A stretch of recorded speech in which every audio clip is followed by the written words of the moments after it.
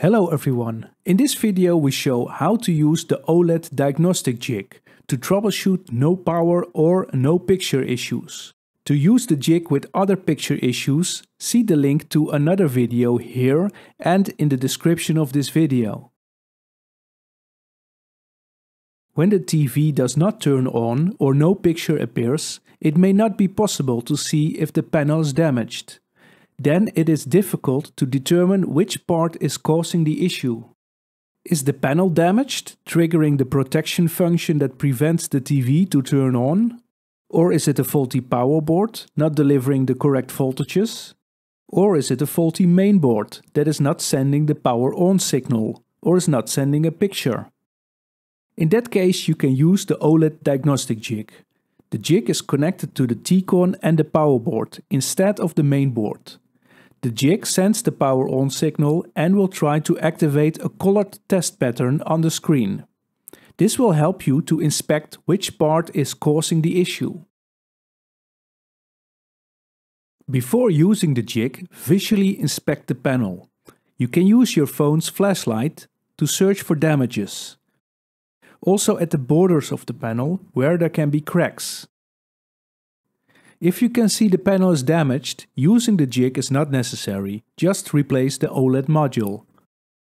Also, before using the jig, make sure the issue is not caused by the FFC cables connected to the T-con. If one of these connections is faulty, replacing other parts will not solve the issue. Unplug the power to the TV and take off the back cover. Also, unscrew and lift this bracket to check this side of the FFC cables. Inspect if there is any damage on the cables or strange substances on the pins.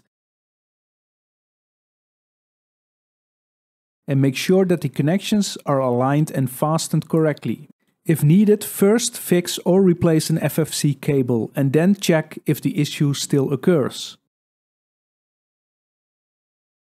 To connect the OLED diagnostic jig, unplug the power to the TV. Disconnect the 24-pin power connection cable from the main board and connect it to the jig.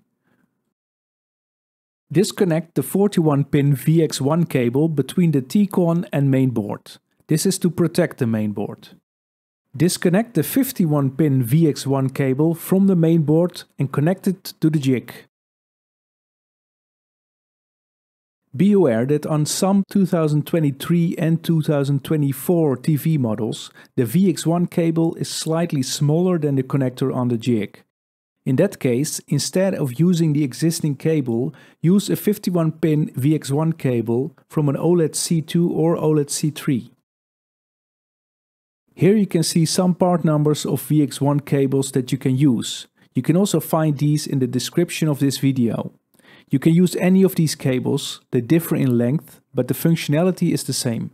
We recommend that you order one of these cables and keep that cable fixed to your jig and always use that on all models instead of using the existing cable. When the jig is connected, plug in the power to the TV. The red LED on the jig should turn on. Put the TV in upright position to have a good view on the whole panel. A pattern with changing colors should be displayed. If the pattern appears, you know the power board is okay. The pattern helps you to see damages which may not be visible when there is no picture. Thoroughly inspect the whole panel. If the panel is damaged, the issue must be caused by the panel. In that case, replace the OLED module. If the panel is not damaged, the issue must be caused by a faulty mainboard. In that case, replace the main board. If the pattern does not appear, check the red LED on the jig. If the LED is off, the issue must be caused by a faulty power board. In that case, replace the power board. If the LED is on, investigate further if the power board is faulty. Disconnect the cables from the power board to the T-con check the output voltage VT and VD. You can find the correct voltages printed on the power board. If the voltages are okay, the power board is okay, and the issue must be caused by a damaged panel. In that case, replace the OLED module. If the voltages are not okay, the issue must be caused by a faulty power board. In that case, replace the power board.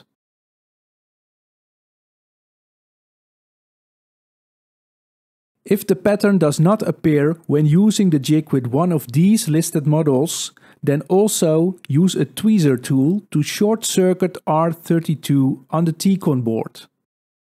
This is how you can use the OLED diagnostic jig to troubleshoot no power or no picture issues. For any question, contact your local LG technical support.